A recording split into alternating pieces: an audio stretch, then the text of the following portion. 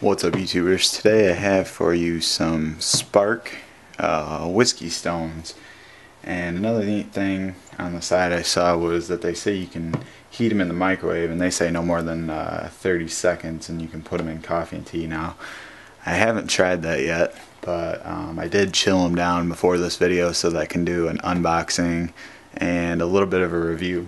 Um, I have a digital temperature gauge so we're going to try to get a temperature reading for you and uh, later on probably after the video I'll check some ice and we'll see what that reads out at.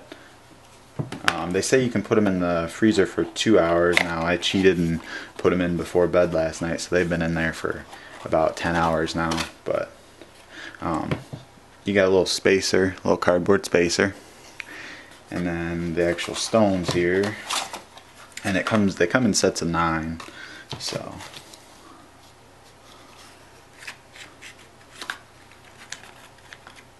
there they are. See, they're actually really cold right now. Like I said, they are in the freezer. Um, try to get a reading.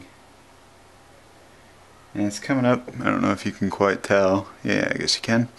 Anywhere between 41 right on down to, let's hold it there, 34 degrees. So that's that's the uh, SPARQ Whiskey Stones, and the idea behind them is that uh, you can put them in your whiskey glass and not have to worry about being diluted with ice melting